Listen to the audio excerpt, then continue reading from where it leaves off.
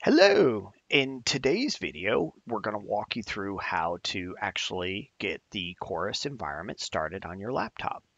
Um, with Chorus, one of the things that we're trying to balance is our desire to make the setup process super easy, super fast, very foolproof, five minutes, and you've got the whole environment up and can start playing with it but we also want to educate you and let you understand how all the different components that make Chorus, all these different open source projects, work together.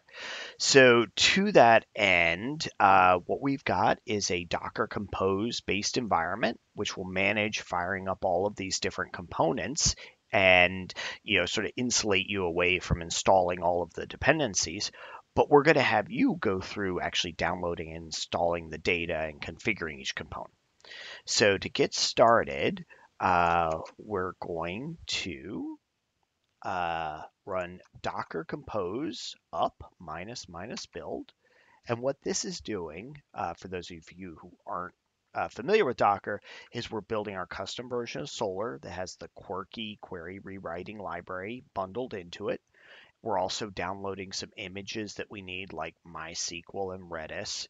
And we are downloading and deploying our offline relevancy tools, Quepid and RRE, as well as SMUI, the search management user interface, which we use for managing all of our custom query rules uh, that we feed to Querqy. So you can see here it's running. And uh, this will take a couple of minutes to fire up all of these dependencies. And through this video, I'll walk you through each one of these components, what port it's running on, and just kind of at a high level, let you understand things.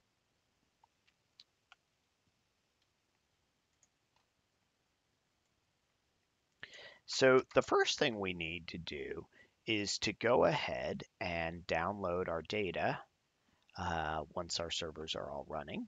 So we are using a public data set from IceCat, uh, uh, which is predominantly e-commerce related products. Uh, although we have other things like drip coffee makers and other things, we have 150,000 products, all with images and uh, attributed metadata. Um, so we've got all of that. And we'll just kind of confirm that everything's up and running. Yep, everything's up and running. And then now that I've downloaded the file using wget, I'm going to untar this file and pipe it via uh, to a curl command, which is going to install them. So uh, this process isn't super fast, so it'll take about five minutes. So I'm going to go ahead and pause the video. I'll be back in a couple of minutes when this is done. Great, we're done. Uh, so you can see uh, 224 seconds it took to load the data, so it could take a little bit. But now we have the information to load it. So let's go and check it out. So the next step is to go to our browser and uh, we're going to bring up Solr. And as you can see here, Solr is running on 8983. I'm going to do a quick query. And you can see here is our products. We have 150,000 products. You can see here's a bunch of data about them. We have images, we have attributes, we have descriptive data. But honestly, this is, you know, pretty tough way of looking at your data and is very, very, you know, you want to be a developer. There, if only there was a better way of looking at it. So uh, maybe we could, yeah, better way of looking at it.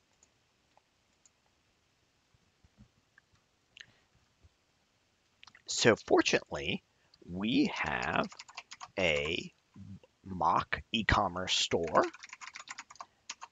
running on port 4000.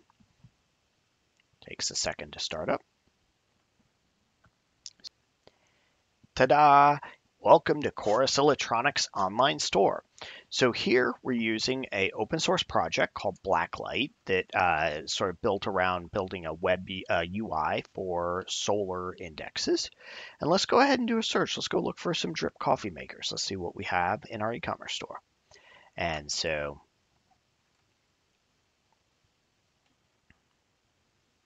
And there we go. There's some drip coffee makers laid out in our familiar grid pattern that we see so often in e-commerce. And compare this to looking at Solr and looking at this data, right? If you're talking to a merchandiser, you're talking to someone in the business, this is a much easier interface to look at, very easy to customize as well. So uh, we have a lot of the standard capabilities that you might expect. For example, we've got faceting here, so we can look at all the different brands in our data set.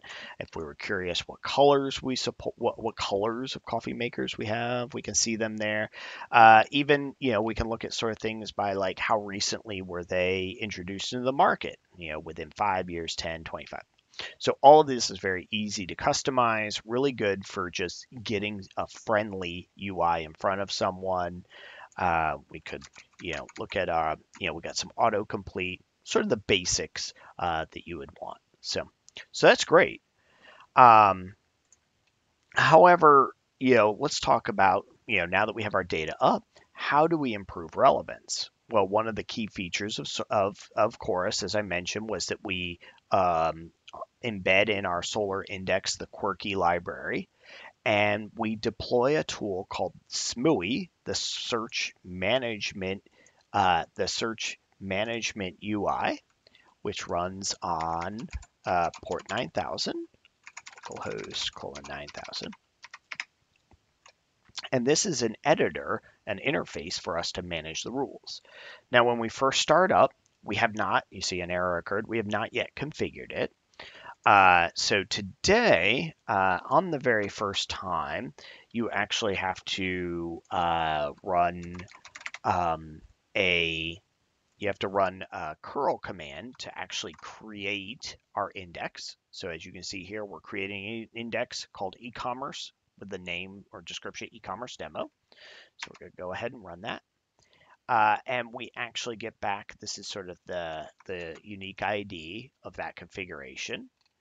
And I'm going to go ahead and actually add some, do two more configurations. So we'll uh, go ahead and export that into the browser. And so we're going to set up, uh, we're going to tell SMUI about some suggested fields out of all the attributes that are out there. We want to we want to have as a suggested field in the GUI, we want to tell it about product types. So we've added that. And we want to tell it about product titles. So there's a second command. Great. So we've now run that. Now let's go back to SMUI and let's go ahead and reload it and make sure we have it's there. So as you can see, SMUI is set up to run for multiple different indexes. And SMUI is set up so as we manage the rules, which we're not going to get into in this video, that'll be in a further video, so we're going to push these rules, an empty rules file, into Solr. And Chorus sets up that interaction between these two projects. And there you can see it, updating uh, the search management config for the Solr Index was successful. So now we have our library for managing rules set up. So how are we going to measure how good our search is or isn't? And that's where we're going to pivot to setting up our offline testing environment. Today, we have two open source projects integrated into Chorus, Quepid and Rated Ranking Evaluator. We'll go ahead and start with Quepid, and then uh, we'll go to Rated Ranking Evaluator. So, so uh, to set up Quepid, first we have to run a command to set up the database. And so right here, we're set creating the database in the MySQL database that we need.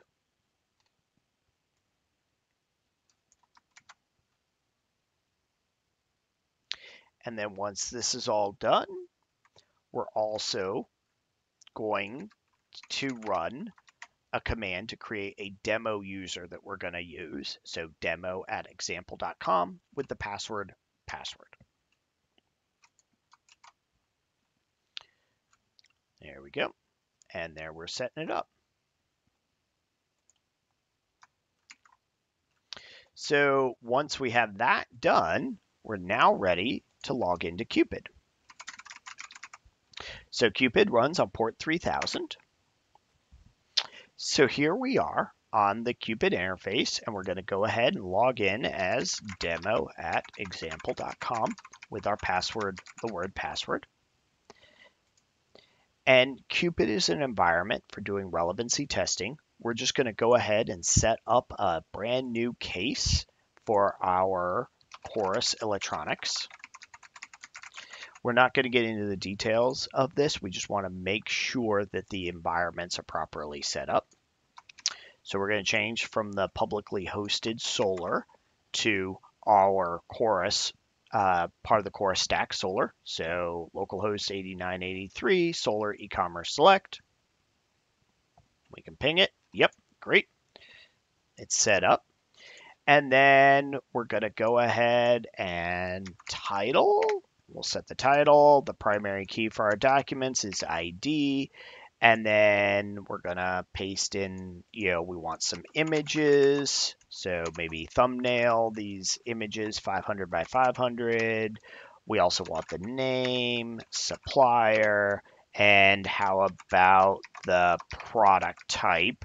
Um, you know, we also want the product type data. So we'll go ahead and put that in there. And lastly, let's go ahead and add our drip coffee makers.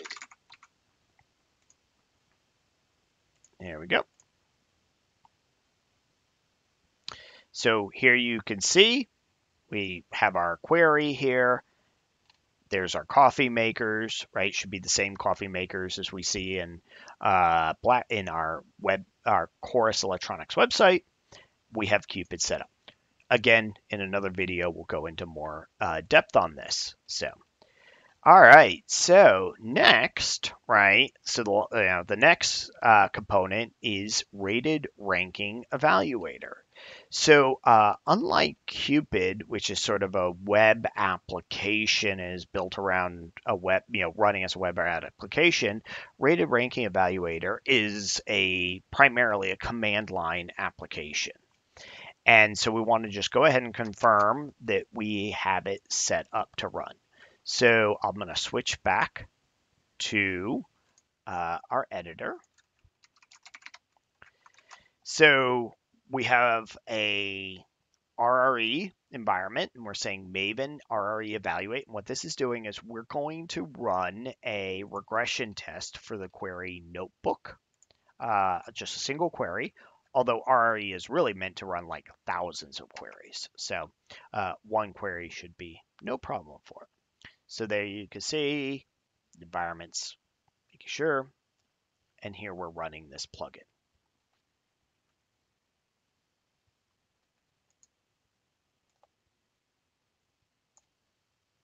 And there you can see we're running query group unnamed query notebook. There's our query being run. So the output of that is what RRE calls the evaluation file. So, and we can just cat that out real quick, make sure we have it. There's evaluation.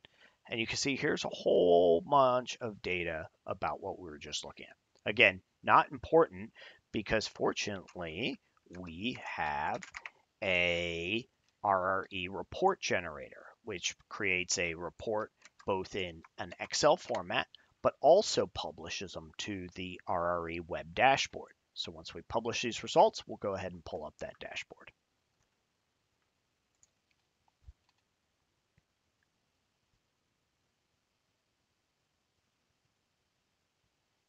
There we go. And we publish the results. Great.